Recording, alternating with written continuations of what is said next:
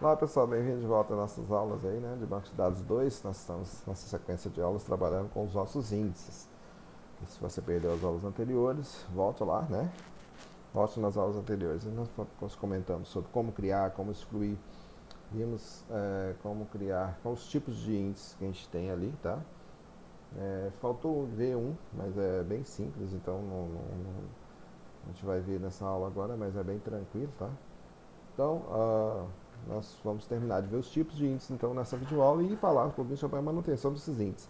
Como que esses índices vão ser mantidos no banco, né? como eles vão permanecer em funcionamento e como otimizar também as nossas consultas da nossa tabela através da reindexação né? e utilização de alguns comandos como análise, ou seja, para analisar nosso banco de dados e criar ali um, um manter o nosso banco de dados em perfeita sintonia e funcionamento, ok?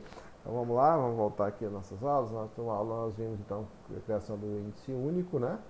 Nós podemos colocar essa restrição de integridade única na tabela diretamente, só que ele não cria como índice, né? Não pode criar como índice, a gente tem que fazer dessa forma aqui.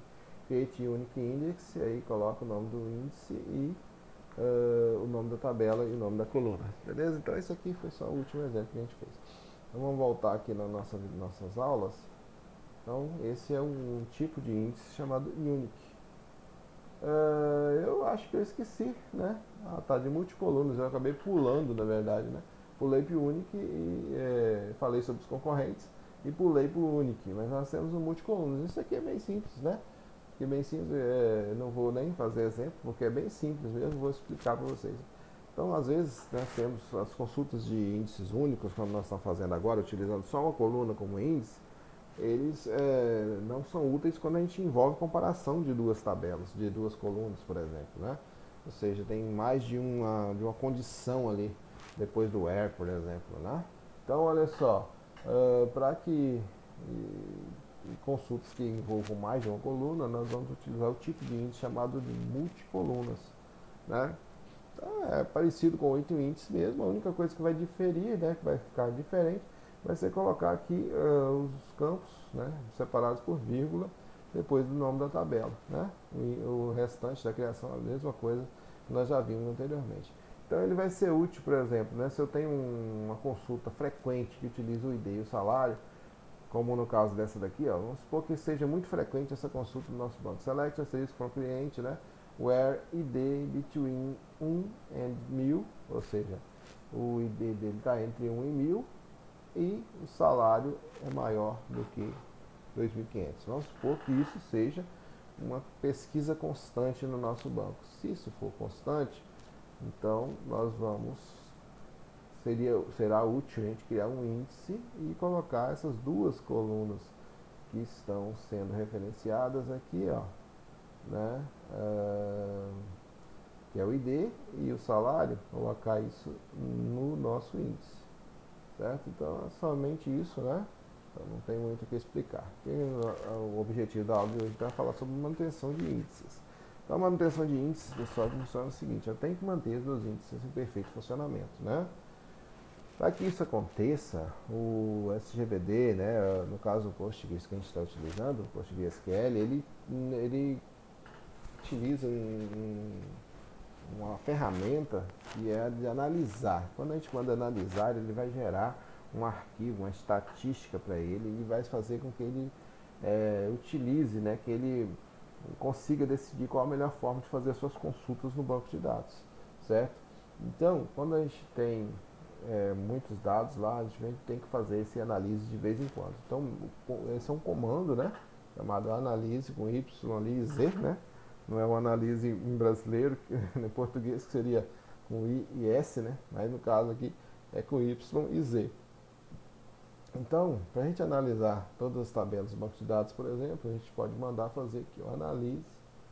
Somente analise é suficiente. O verboso é só para ele aparecer é, as mensagens, né? As mensagens de, análise que ele faz, para ele é, escrever né, essa, essa análise ali para a gente, tá? Então é por isso que a gente usa o verboso, mas não era obrigatório, né?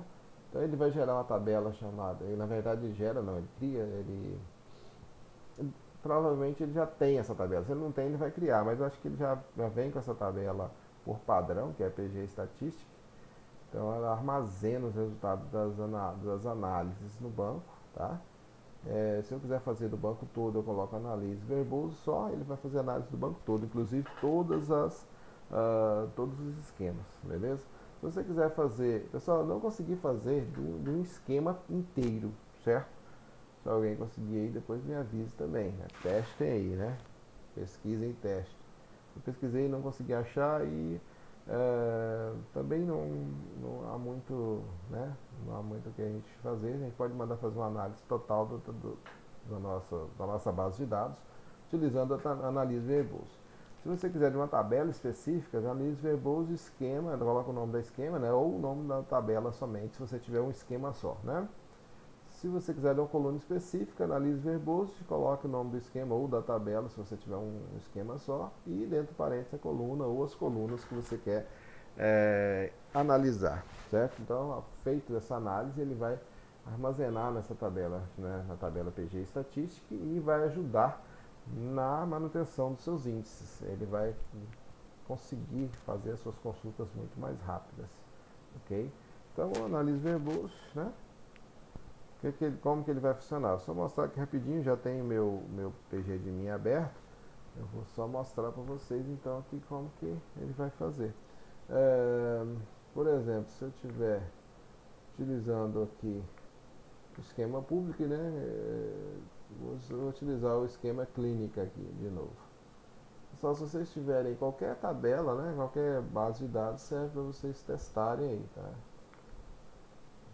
Vou usar aqui, ó fazer uma consulta aqui, né? fazer uma análise. Então, analise, opa, com Z, tá? Inclusive ele aceita com essa também, será? Olha só. Nem sabia que ele aceitava com essa, mas ele geralmente padrão é com Z ali. Mas vamos ver, né? Então analise verboso, né? Para ele escrever. E vamos colocar o nome da nossa se eu colocar só assim, clínica, eu tentei até colocar assim, ó, clínicas, ponto asterisco, para ele poder é, analisar todos os da minha clínica, mas não funciona. Me dá um erro aqui. Não, não consegui fazer funcionar, pessoal. Mas se eu quiser mandar, por exemplo, só, se eu quiser mandar de todo mundo, é assim, analise verboso, né? Vou dar um. executar isso aqui.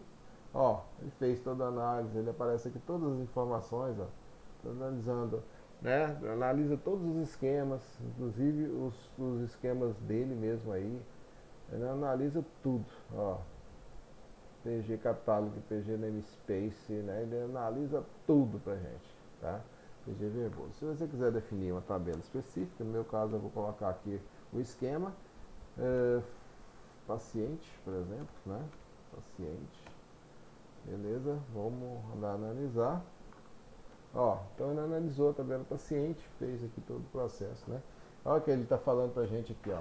Escaneado uma de uma página contendo 15 linhas ativas, vivas, né? 15 linhas vivas e 5 linhas mortas.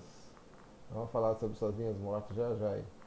15 é, linhas é, de, de, exemplos, parece, que não me engano, e 15 é, total de linhas de 15, né?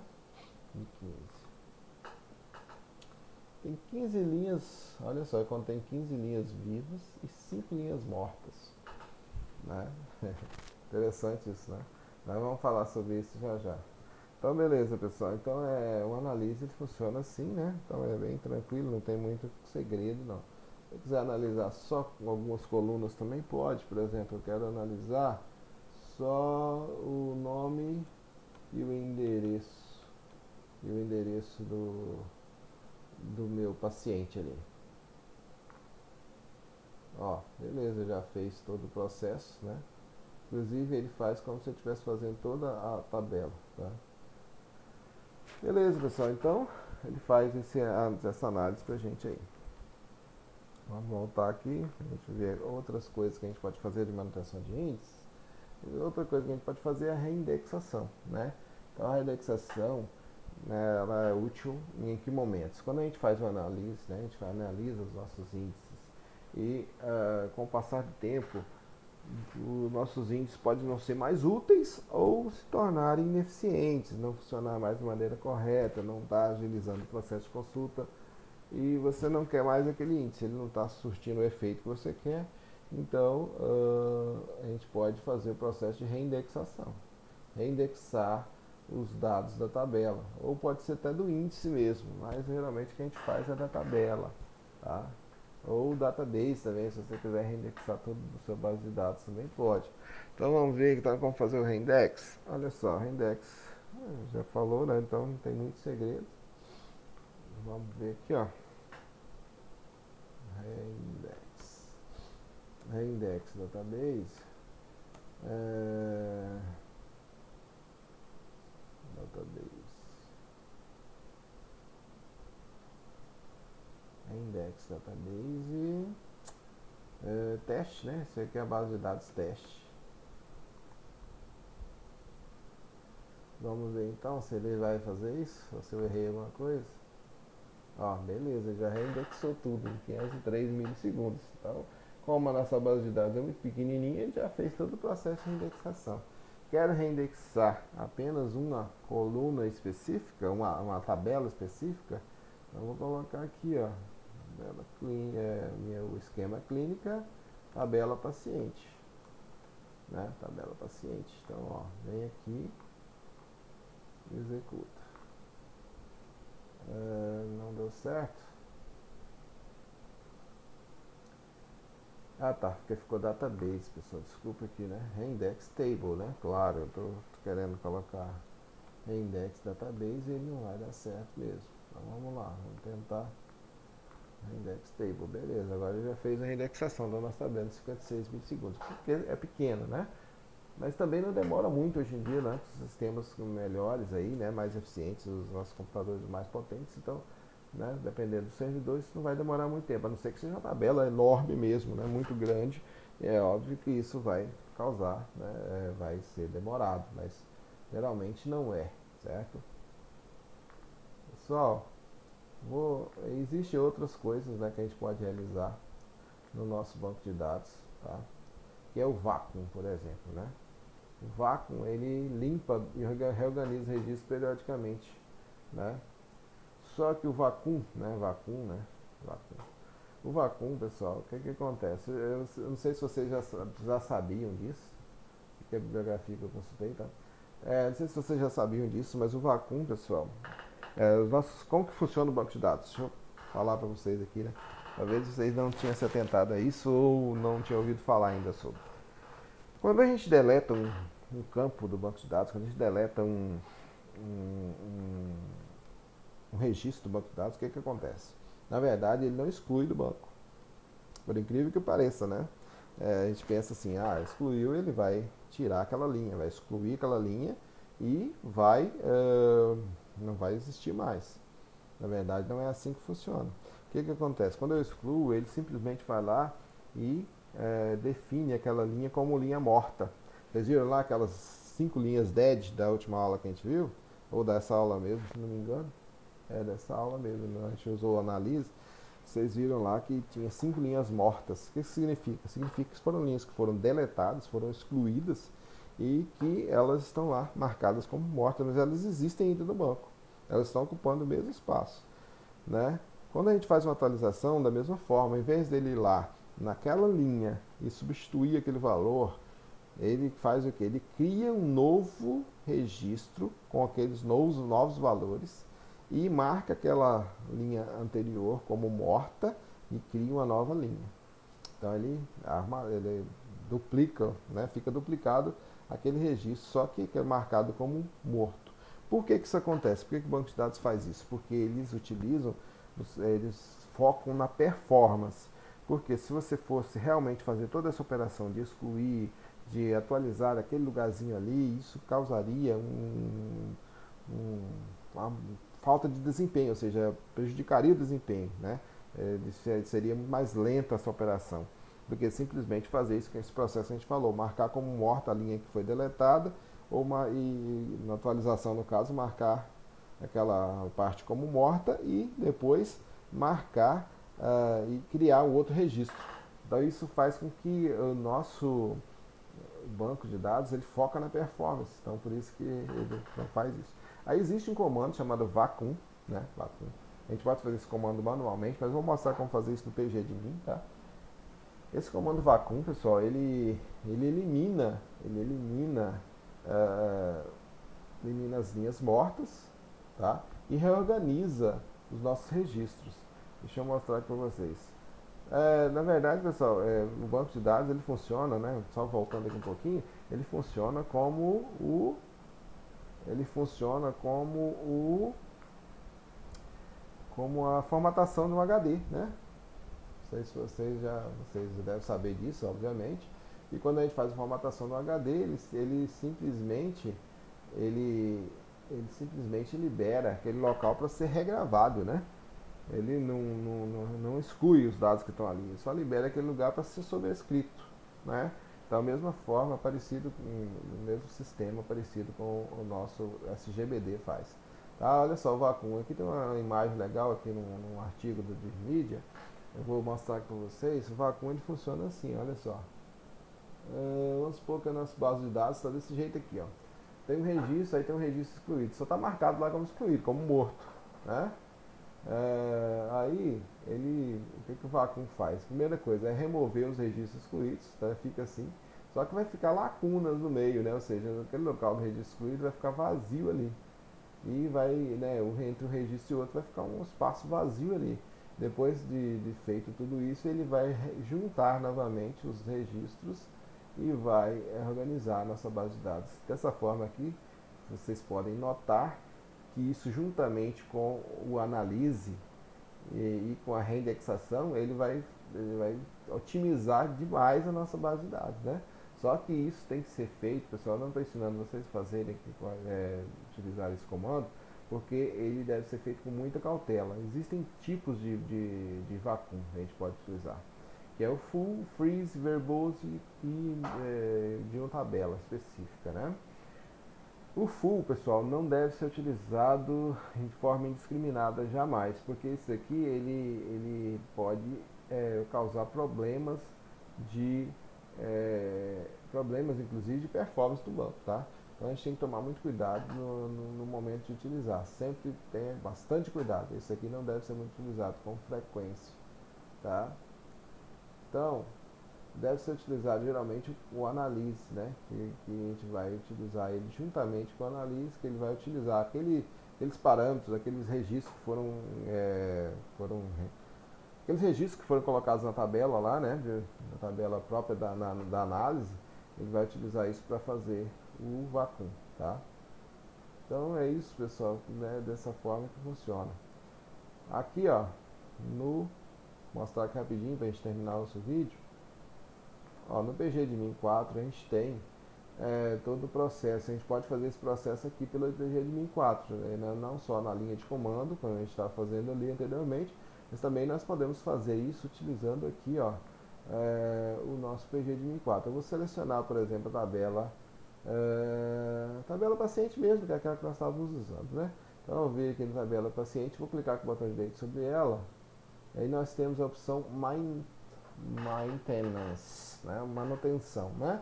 Então vamos selecionar essa opção de Maintenance. Ele vai abrir para a gente aqui, ó, aqui, ó, que a gente já viu aqui, o analise, né? Isso aqui nós acabamos de ver, ó, verbose message, nós podemos escolher full freeze ou analise também. Vamos deixar só marcado o verbose message e vamos mandar executar. Ó, a manutenção foi executada, né? Beleza? Já foi né, executada com sucesso. Pronto, né? Ó, agora vamos fazer o vácuo. Olha só, vem aqui o vácuo está selecionado. Eu vou mandar fazer com um analise né?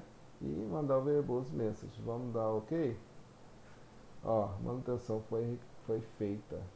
Mais detalhes, se eu quiser ver mais detalhes, eu vou poder ver as, as todas aquelas mensagens que aparecem ali, tá? Ó, removeu duas linhas, tá? Aqui tá falando, ó, contém 15 linhas em duas páginas, é, zero index ou versões foram removidas, Uh, ó, encontrados cinco é, linhas removíveis, né? é, zero dead row version. Isso aqui nessa versão aqui não tem nenhuma linha morta. Ó, então tem várias informações aqui né, que são úteis, depois vocês podem analisar essa informação melhor. Feito tudo isso, ó, então ele concluiu o processo de vacuum, né? Concluiu o processo de vacuum na tabela paciente. Certo? Então agora a minha, minha tabela paciente está devidamente, é, devidamente limpa, né? É, se eu quiser mandar um reindex, também seria interessante, ó, vou mandar um reindex. Inclusive ele aparece lá o reindex também, deixa eu mostrar lá, né? Mantém-se. O reindex aqui, ó, tá? Então você pode fazer o reindex também por aqui. E cluster, pessoal, clusterização aqui nós não vamos falar sobre ela, mas é, na verdade funciona como se fosse uma é, subdivisão da nossa tabela, deixar em diferentes locais, né, clusters diferentes.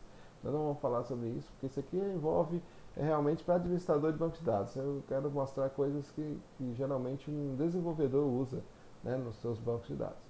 Então, reindex é só vir aqui e dar OK, né, ele vai criar uma indexação. Depois de reindex, vamos mandar fazer uma análise. Ó. Análise. Análise clínica paciente. Ah tá, esqueci de colocar o verboso. Eu vou colocar o verboso para que ele apareça ali os, os, os, dados para gente, né? Verboso. Beleza. Vamos executar. Ó, zero dead rows. Certo, pessoal? Vocês lembram lá que tinha 5 dead rows? Agora não tem zero dead rows.